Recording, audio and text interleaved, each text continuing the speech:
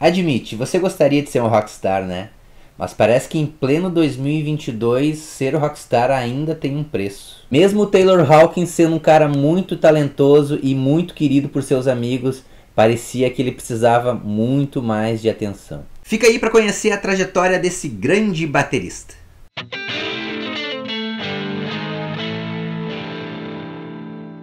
Oliver Taylor Hawkins nasceu no dia 17 de fevereiro de 1972, lá no Texas, nos Estados Unidos, e logo em seguida, ali na sua infância, migrou então para Califórnia. E foi lá que ele cresceu juntamente com seus irmãos. Na infância ele era muito fã de dois grandes bateristas, o Roger Taylor do Queen e também o Stuart Copeland do Police. Claro que tinham muito mais, mas esses dois eram os caras que ele ficava assim idolatrando na sua infância.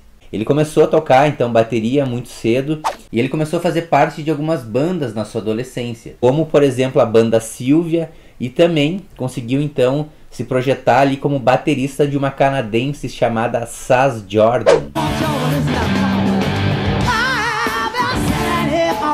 Em 1995 veio um convite muito legal para ele fazer parte da Alanis Morissette, né, da banda da Alanis Morissette. A Alanis, então, projetando a sua carreira ali em 95, 96, 97, é onde ele faz parte dessa banda. E note, né, a Alanis ela tem uma projeção muito grande naquele momento, justamente com a MTV, né, e fazendo um trabalho bastante pop, vendendo muitos discos. Aí ele recebe convite, vai tocar com ela nas turnês, e eu lembro que foi ali que eu conheci, né, o Taylor.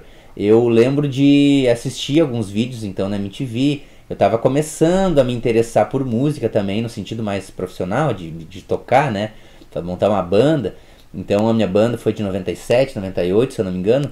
E aí então eu, guitarrista, mesmo assim vendo a Alanis, olhava ali, né, a Alanis tocando, mas me chamava muita atenção o baterista, né, por sua pegada, a forma como ele tocava, então bateria, né, muito atraente assim, né, com uma pegada mais firme, né, a Alanis tocando mais pop, mas ele mais rock and roll Bateria Taylor Hawkins.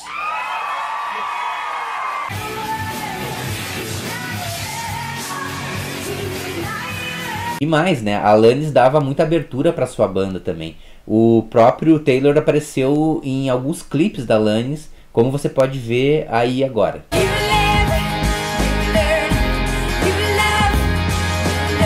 E aí ele tocando com Alanis Morissette recebe convite para fazer parte do Foo Fighters. Mas olha que interessante foi esse convite.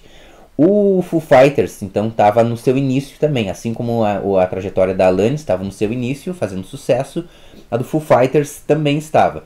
O Dave Grohl, né, fundador então do Foo Fighters, veio do Nirvana. Todo mundo sabe disso. Porém, o Foo Fighters era um grupo menor comparado com a carreira da Alanis. A Alanis estava vendendo mais naquele momento o Foo Fighters vai lá, grava seu disco, né? E na gravação do segundo disco, ele já tinha então um baterista fixo ali na banda, que se chama William Goldsmith, e o Dave Grohl simplesmente, depois de uma gravação então desse segundo disco, retira todas as baterias do William e regrava. Ele mesmo faz as baterias, justamente ele é baterista, né? Era o baterista do Nirvana. Regrava todas as baterias e aí o William diz assim: "Cara, eu não vou continuar na banda", né? Isso foi uma intromissão na minha arte, né? na minha forma de tocar. Então tô vendo que eu sou uh, substituível mesmo. Peço demissão da banda, saio da banda, né? Houve todo um desconforto ali. E aí o Dave Grohl precisa de um outro cara, de um baterista. Ele já tinha uma amizade com o Taylor e aí ele liga pro Taylor dizendo o seguinte: "Cara, preciso de um novo baterista. Sei que você tá aí, né, tocando com a Alanis, né? Então eu não estou te convidando, né? porque você tem uma carreira melhor aí com a Alanis, não vai querer entrar numa banda nova aqui né? junto comigo. Mas se você souber de alguém, me diz aí, me indica.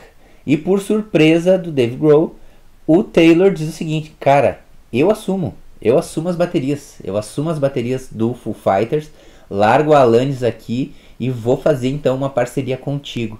E aí ele entra na banda, ele entra no Foo Fighters e sua carreira decola.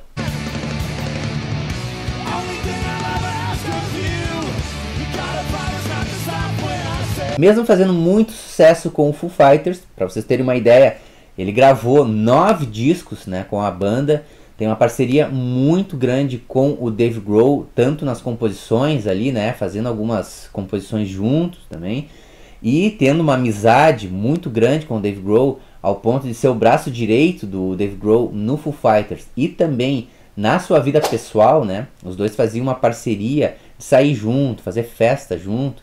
Em 2001, o Taylor acabou tendo uma overdose de heroína.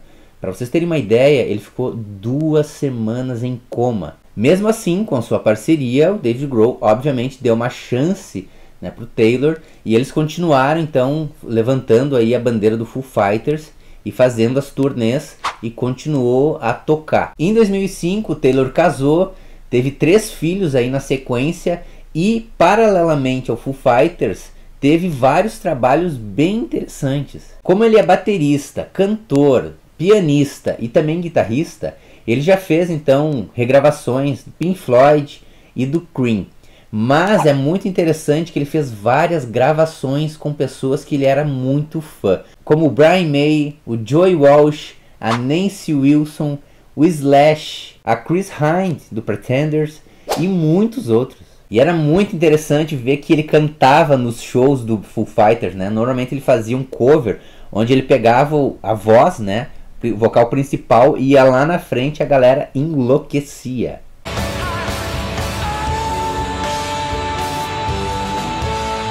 E em 2006 ele parte também para uma carreira solo, paralelo ao Foo Fighters.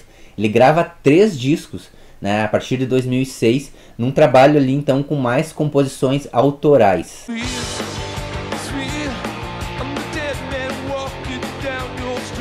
Em 2021 ele lançou um novo trabalho que nem deu tempo de ele levar adiante, né? O NADC é um grupo então que ele formou né, para montar também uma trajetória musical que ele esperava então levar, ampliar a carreira dele, né, nesse sentido, misturando um pouco de rock progressivo e hard rock, mas infelizmente não deu muito tempo ainda, né, porque agora então no dia 25 de março ele acabou falecendo. O Foo Fighters estava numa turnê pela América do Sul e ele foi encontrado inconsciente no seu quarto de hotel lá na Colômbia. E aí então, infelizmente, ele acabou falecendo. Não se sabe ao certo aqui a causa específica da sua morte, enquanto eu estou gravando esse vídeo, né? Estou gravando aqui no dia 26, um dia após a sua morte, então. Mas tudo indica que pode ter uma ligação com as drogas, infelizmente, né? Uma recaída, então. Mas por outro lado, algumas pessoas dizem também que ele falou sobre uma questão de muita dor no peito né? Então poderia ser algo ligado a isso também. Não se sabe ainda, né? assim que souber, eu vou colocar aqui nas descrições do vídeo né, a causa correta da morte do Taylor. Infelizmente a gente perdeu então mais um baterista interessante aí do rock and roll, né, o rock and roll que sempre teve grandes músicos que acabaram falecendo cedo. Ele faleceu com 50 anos, né, tinha muito mais para mostrar tanto na sua carreira solo como no Foo Fighters. A gente perde então um grande músico. Gostou do vídeo? Se inscreve aí. Também tem o meu Instagram, Prof. Alexandre Sajorato. Quer saber mais sobre música? Me segue lá e também se inscreve aqui no canal, onde eu falo muito mais sobre a história da música. Vejo vocês, até mais.